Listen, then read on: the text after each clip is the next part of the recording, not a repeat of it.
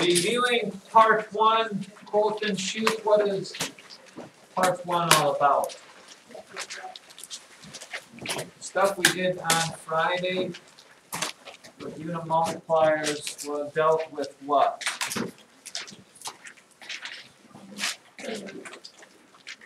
What's that? Converting what?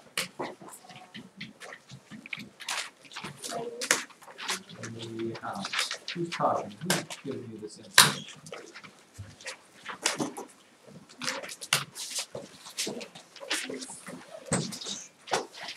Please, somebody tell me they have some sort of an inkling, what we did on, uh, Friday, let's say you're converting three feet squared into square inches. What was the highlight of Friday's math class besides the end of it? Yeah. Um, they wanted you to like do the ratio of perimeter to area or something like that. I think that was more than, that was longer ago, I think, than that. What is the key to converting area? Because most people would go, that's thirty-six, isn't it? You have three feet squared, isn't that thirty-six inches squared because there's twelve inches in a foot? And to which I said, no, unfortunately, the logic there kind of falls apart a little bit because of what reason? Alex Bowman.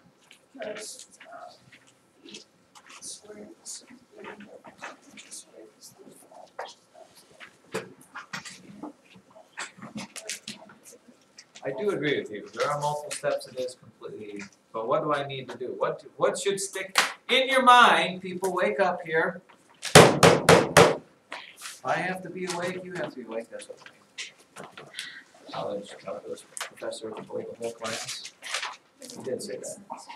It does make sense, it makes a lot more sense if you're actually paying attention. Oh. To take a night class. When you have three feet squared, You have to draw multiple morning? labels. Thank you. If it's area, unit multipliers get doubled. Ray, are you with me here? Eye contact is important. When, when I hit the big points here, eye contact is important. Feet squared is double the label feet, so when you change it into inches, you need double the unit multipliers, because one inch, one of the inch unit multipliers, one, each of the feet need to come us off with one of the feet down there. So instead of it being 36, it actually ends up being, sorry, that should have been 1, 3 times 12 times 12, 144 times 3, which is what? 480. More? Yes. Is it? I don't know. Um, let's see. Yes. Four hundred thirty-two inches squared. Now that was area. Volume is a different thing, not totally different, but a little different. If I have, um, What do I have this up there? If I had five um, yards cubed and I wanted to change that into feet cubed, the answer is not fifteen. It is not fifteen, because in a cubic yard, there's a lot more than just one cubic foot. What do we have to do when it talk, when it comes to terms of the volume? You need to do three unit multipliers, because this is cubed. In other words, it looks like five yards times yards times yards. That's what a yard cubed is. And you have to multiply this by three unit multipliers that have yards on the bottom and feet on top. This, by the way, is review. This isn't startling information that we haven't talked about. How many feet are in a yard? Thirty-three. So the actual answer to that is going to be five times what?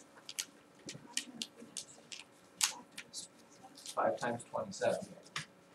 Which is what? You should be able to do that one, right? hundred thirty-five feet cubed.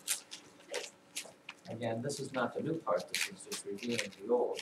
So when you convert area, you think what, Morgan Richards? Um. Doubling. Doubling, thank you. And when you think volume, Phil, hands out, you think tripling.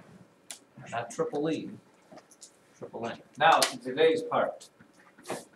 Um, unimultiple, unit multipliers, uh, when it comes to changing more than one measurement.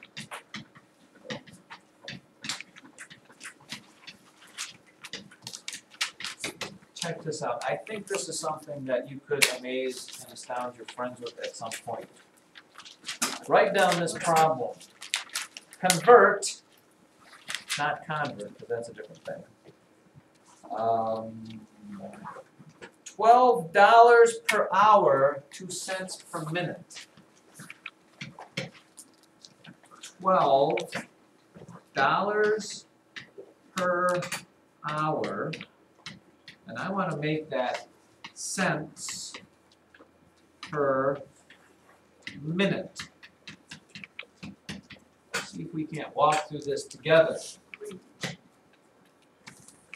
My first step is going to be to do what, Zach Rice? I did that already. First step after writing the problem, but that would be the first step. Second step, Zach Rice.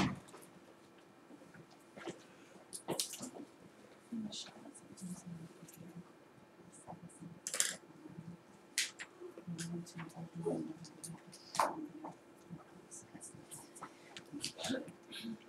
it doesn't need lights out. We left it just because the other switch was included down old as a building. That's the only thing that somebody told us that last year was we had to move that. that's in- I don't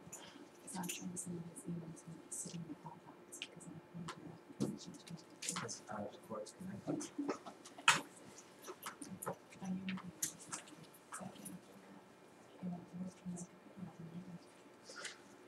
Well, you can't, you can log into Kindle.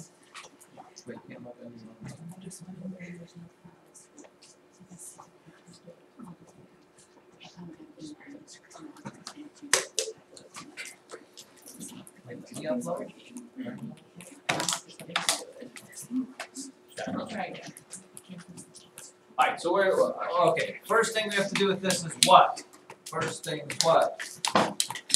Caroline, this was coming.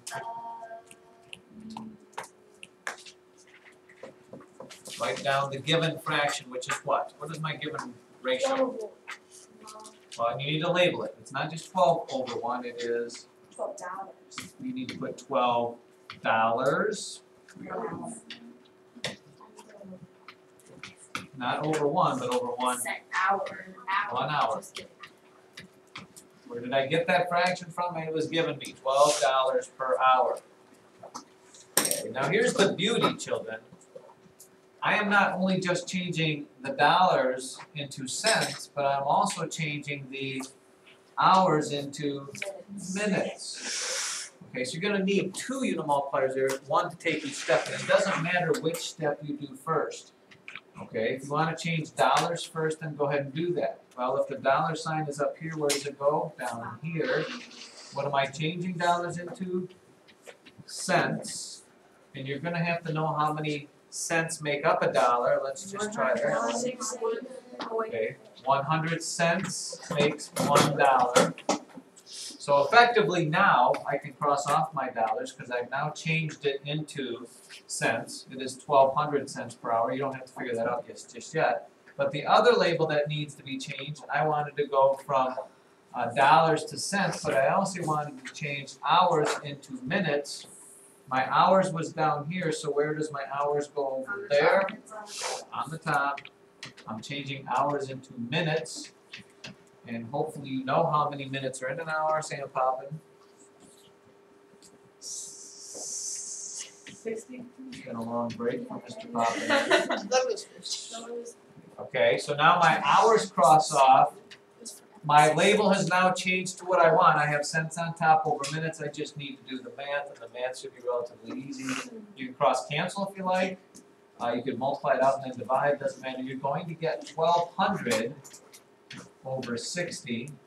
Cross off the zeros, hundred twenty divided by six is, you get twenty, what am I left with for a label? Cents per, and if you wanna write it out like this, it's fine, minute, or if you wanna do it as twenty cents over one minute, okay?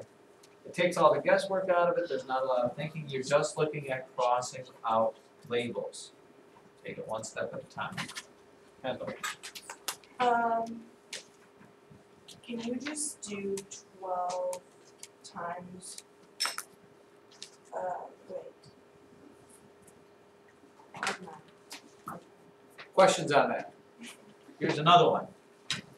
How about changing, um, one gallon per day to quarts per hour? One gallon per day. And I wanna change that to how many quarts per hour? I'm gonna give you a shot at doing that. Gallons per day into quarts per hour. It's not gonna be a pretty answer, mind you, because if you're only using one gallon in a whole day, there's a lot of hours in a day as opposed to quarts in a gallon.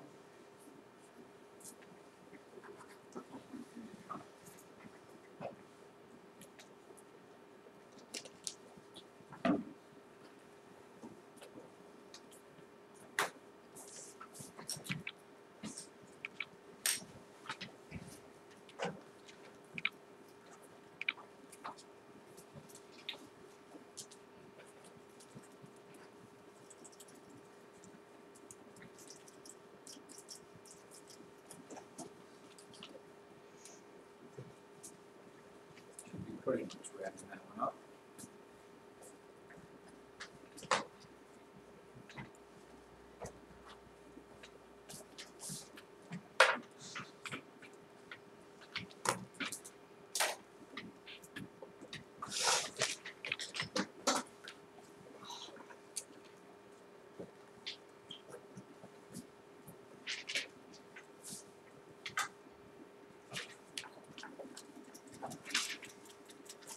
And we should end up with Charlie? Um.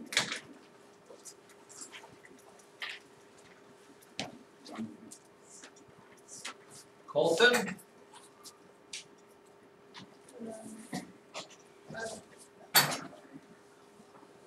Holly? Um, one, six, forty per hour. Now let's check and see. Holly, what did you cross off first?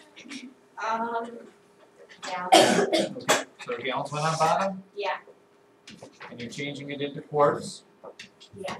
And you know there are four quarts in one gallon, correct? So gallons have now been changed to quarts. Now I need to change days. Since it's on the bottom here, days is gonna have to go on the top. I'm changing days into hours, which there are twenty-four hours in one day.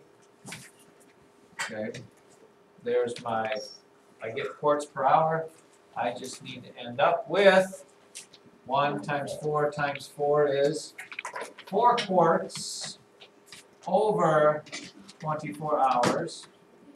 It does reduce to one over six, and really, the, the way to say it is the way Holly said it. You don't really usually say one quart for every six hours, you say it's one sixth, just make this the fraction of a quart per hour. This would be one way to say it, but usually when we have a fraction there, you make the fraction, then you just say quarts per hour. Question there if you didn't catch that, or why you didn't get that. Probably just messed up over here somewhere. That was part of it. One more, they say, one more. You said some- How about, um, ten yards per second to feet per minute? Ten yards per second to feet per minute. Yards per second to feet per minute.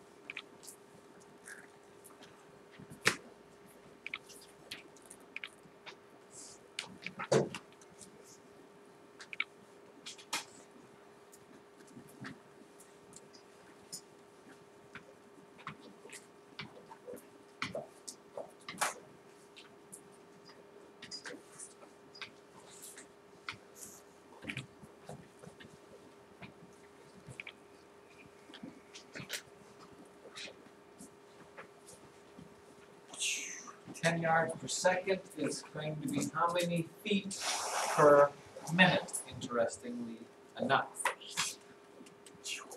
Nate says, Um, thousand eight hundred feet per second. one thousand eight hundred, I don't know, haven't Yes. done it. Nate, which one did you, which one did you convert first, seconds or yards?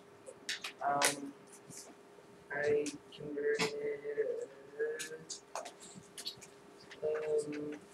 uh, yards. So we put yards down here, correct? And you're changing yards into feet, so there's your unit multiplier there, three feet in one yard. Yards are gone. Yes. Now I need to change seconds, have to go on top into minutes. And there are sixty seconds in one minute, so now my seconds have been changed. One times one on the bottom is one, and ten times three times sixteen is one thousand eight hundred Yes. feet per minute. Again, stop me there if you have